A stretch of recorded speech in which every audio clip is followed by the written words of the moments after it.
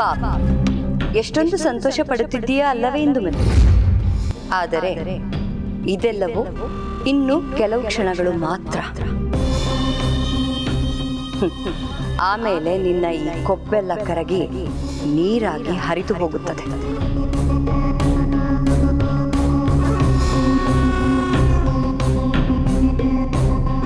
ಅಂತೂ ನನ್ನ ಮಗಳು ರಾಣಿ ಆಗುತ್ತಿದ್ದಾಳೆ. ಇನ್ನು ರೇಣುಕೆ ಎಲ್ಲ ಅಪಾಯಗಳಿಂದ ಪಾರಾದ ಹಾಗೆ.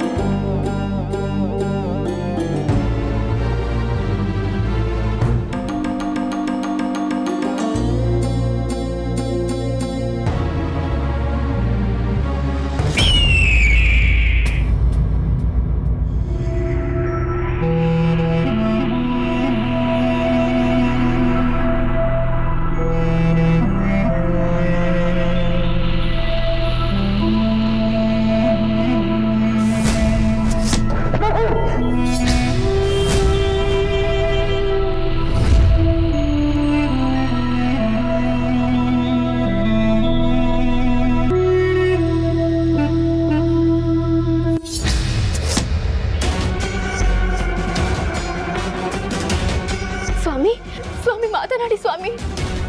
ಸ್ವಾಮಿ.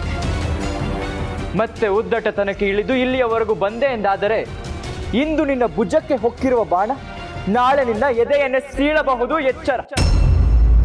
ನೀವು ಹಿಂದೆ ಎಂದಿಗೂ ಈ ರೀತಿ ಗಾಯಗೊಂಡು ಮಲಗಿದವರಲ್ಲ. ಇಂದು ನಿಮಗೆ ಇದೇನಾಗಿದೆ ಸ್ವಾಮಿ? ನಿಮ್ಮ ಈ ಪರಿಸ್ಥಿತಿಯನ್ನು ನೋಡಿ. ನನಗೆ ತುಂಬಾ ಸಂಕಟವಾಗುತ್ತಿದೆ ಸ್ವಾಮಿ. ಸ್ವಾಮಿ.